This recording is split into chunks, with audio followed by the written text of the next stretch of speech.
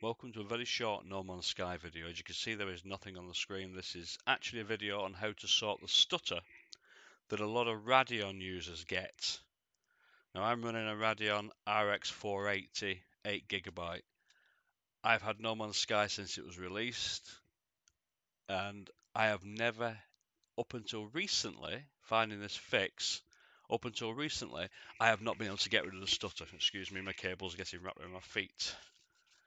Right, so I'm going to explain to you guys what what you can do to change this problem. First of all, I'm running Windows 10.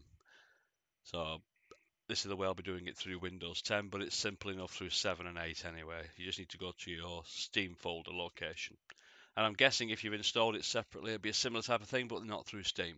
So first of all, we're going to go into the computer system. Look at all the crap on there. It's beautiful. All right, C drive, program files. That's 86 for some reason. I don't know why they've done that, but anyway. Steam. Steam apps. Common, bit like me. Yeah, I'm a bit common. No Man's Sky. Binaries. And then settings.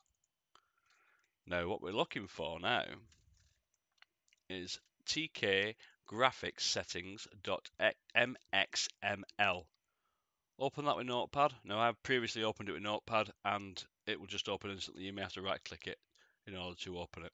Right, so what we're going to do is we're moving down the page to where we find this section here. Now on yours, it's very likely a different number. The value before is is likely 2 and the number of law threads possibly 0. I've changed them to 4 and 1. I also increased the maximum frames per second, but that's not really necessary.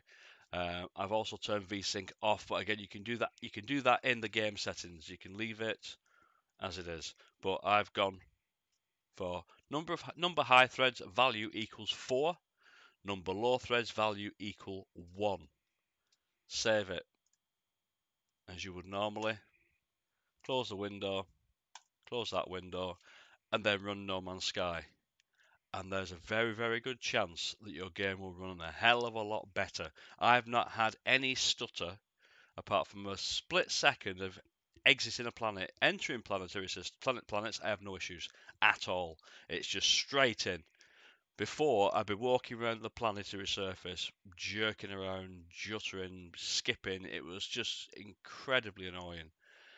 Whether this will solve problems on other graphics cards, I don't know, but I was finding this with a Radeon, and it's something to do with Radeon cards. Anyway, I hope that solves your problems, and if it does, that's brilliant.